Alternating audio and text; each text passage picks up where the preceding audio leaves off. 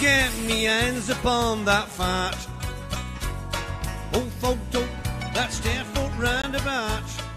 Hi, this is Dave Cherry, and I want to take you back, back in time, to my hometown of Barnsley. Barnsley in the 1960s. Oh, that looks a bit early.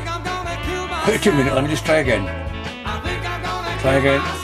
Oh, still a bit early. Still a bit early. 64 I'm looking for. That looks better. 1964 in Barnsley. when a group called Me and Them came on the scene. And they made a record called I Think I'm Gonna Kill Myself. But it was banned by the BBC. They also covered the Beatles' Tell Me Why.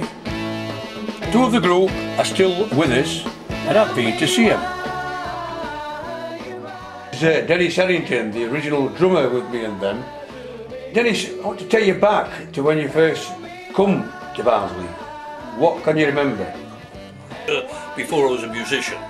Um, and uh, then I got converted when I lived in Barnsley. and I loved it. By the way, yes, thank you. I'll never ever forget Barnsley as long as I live. Because me and them were the original Chris Andrews band. I don't know if anybody knows that, but we were. Yeah. And I've still remained mates with Chris. Yeah. And we're still great pals. And I go over to Germany three or four times a year. I've just made a film of this and it's been premiered on Friday, October the 19th at the lovely Shaw Lane Sports and Social Club on two big screens. Don't miss this great night out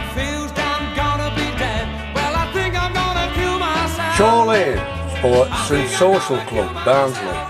Contact Jenny Hurst 01226203509. Don't forget, all proceeds for this event go to the Barnsley Hospice. That's your lot.